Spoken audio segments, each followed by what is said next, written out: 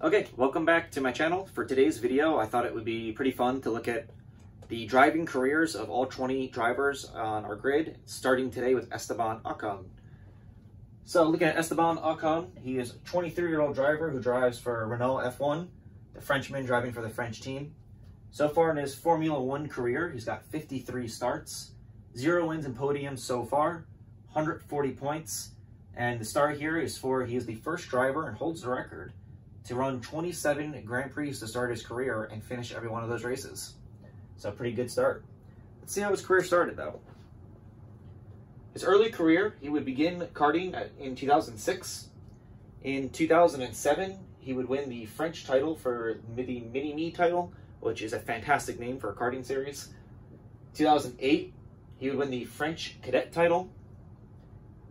And in 2009, he would move to the KF3 series and win the title there as well. So off to a really amazing start in his karting career, winning basically a title per year. Uh, as someone who grew up driving quarter midgets here in the States, I wish I could say I had similar stats. I definitely did not. At 14 years of age, he signs with Renault finally. No, not quite. He signs with their sister team, Gravity Sports Management, and goes Formula Racing. For Formula Renault, he would get six podiums and one win. In 2014 and 2015, he moves to Formula 3, and he would score titles in the European F3 Series and the GP3 Series, winning championships in both.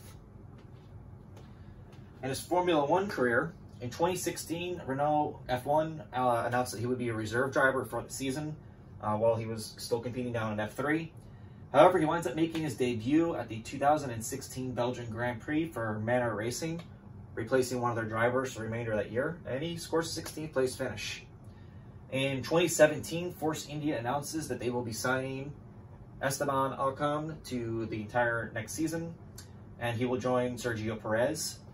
He has a pretty solid 2017, scores 87 points, and finishes 8th overall in the driving standings. So, really, really great uh, year to start off. 2018, things start going awry for him a little bit. Um, not just him, but Force India in general.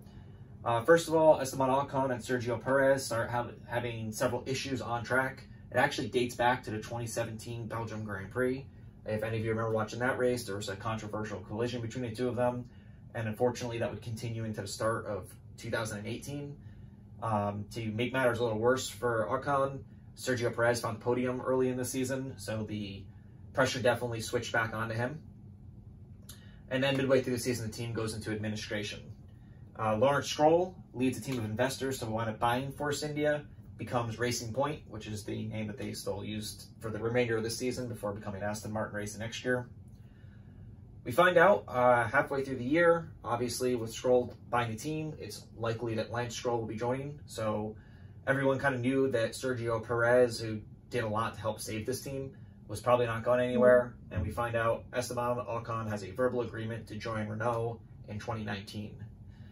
And then Daniel Ricciardo shocks the F1 world by leaving Red Bull Racing, and Renault jumps at the opportunity to sign Daniel, and they lock him up for a two-year deal. Ocon would wind up struggling to a 12th place finish in the driver standings with only 49 points on the season, which doesn't do him any favors trying to get another ride for 2019. And with his 2019 in doubt, he winds up signing on for Mercedes as a reserve driver, which is where he spent all of last season. However, in 2020, in August of 2019, it was announced that for 2020, the partnership that's kind of been building his whole career finally happens, and he signs for Renault Racing. We got the French driver and the French team finally partnered. And so far, through three rounds, in round one, he qualified 14th and finished 8th. In round two, he qualified fifth, and they had an overheating issue with the car. He wound up having to retire it. Kind of similar technical issues that Ricciardo had in week one. In round three, qualifies 14th, finishes 14th. So far, he's 13th overall in driver standings with four points on the season. Uh, should be noted, the Renault race cars look pretty fast. I mean, they're usually in the top 10, you know, between 5 and 10th during the Grand Prix, but they seem to keep having technical issues, and as long as that keeps happening, um, they're going to keep finishing out the points a lot.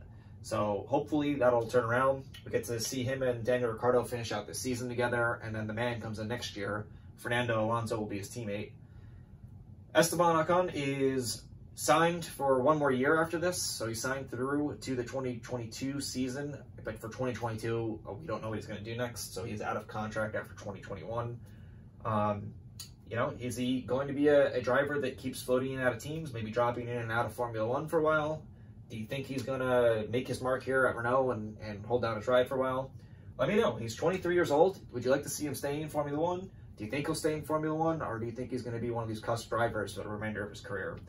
Uh, if you come across this video or you've liked any of my videos so far, please hit like and subscribe. I'd love to know what you guys think of them and get your feedback. I'm going to keep trying to do videos like this as much as I can. My goal is to do daily, but I will definitely be churning out some of these uh, at least every other day. So thanks again for watching, and I'll see you next video.